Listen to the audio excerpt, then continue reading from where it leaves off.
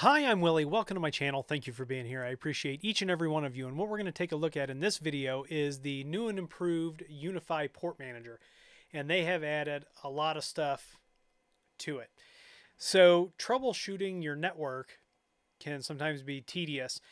And anything that any company, in this case Ubiquiti, can do to add some troubleshooting to the UI can sometimes make it easier than having to, you know, track down, you know, log files or have to set up a, you know, a log server and output logs to that. So as all of these companies mature and these troubleshooting tools are built into the UI, things are going to be much easier. So I want to show you on my Express 7 what I'm talking about here. So this is my Express 7 and you have to be to get this view that I'm going to show you, you have to be on the latest UniFi network application release, which is the 9.5.21.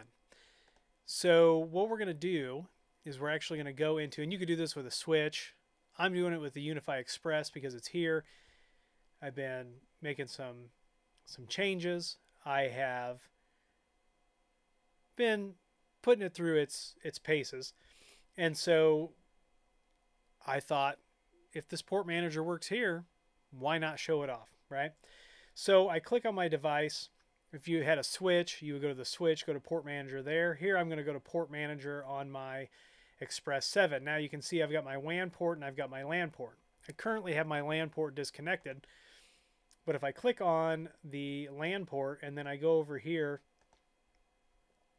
to the stats button, you're going to see everything about it. So you're going to see what's plugged in, the native VLAN, the connection, all those things. I don't have anything plugged in at the moment.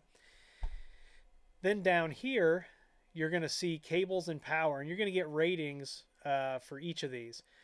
So if these ratings change, there might be something that you want to look into, but you can see traffic path health on this port is excellent, broadcast and discovery, excellent, network loops and storm control, excellent, cables and power excellent. So you get a snapshot of kind of what they're thinking the health is of whatever is plugged into this.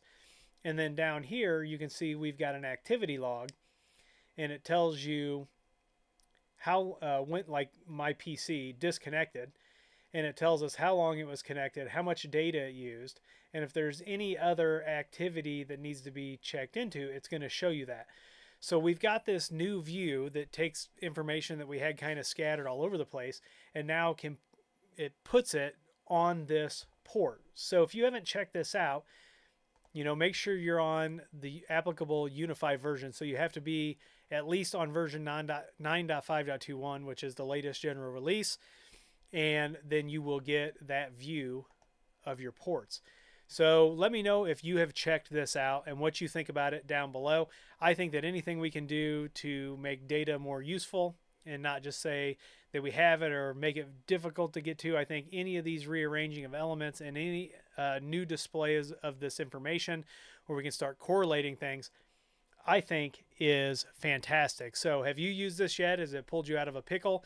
Did it make troubleshooting easier? Let me know down below. And if you like this video, give it a thumbs up, subscribe, comment, share. Follow me on Twitter and TikTok. Those links are down below, along with affiliate links, a Patreon link. And if you need IT consulting, if you're having network trouble and you need to get it pinned down, if you want to redesign your network, if you need voice over IP, storage, uh, security help, head on over to williehowe.com, fill out the contact form, and someone will be in touch with you as soon as possible. Come on over to community.williehowe.com and talk about your technology experiences today.